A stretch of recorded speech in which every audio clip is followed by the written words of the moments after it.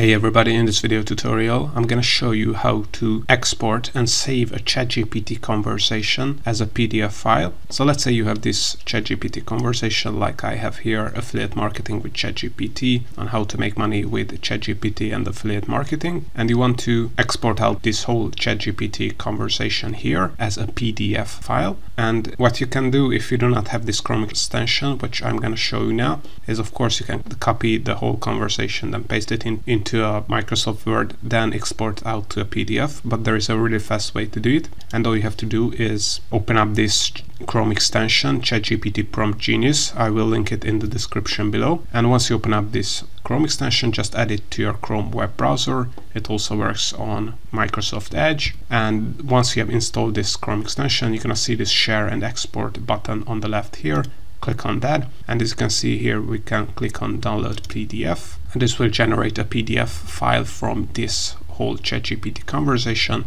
Wait a couple of seconds and as you can see the Adobe Acrobat uh, document has been created. Just add a name to the file and click on save and now if we open up this file we can see that the whole conversation has been exported out as a PDF file.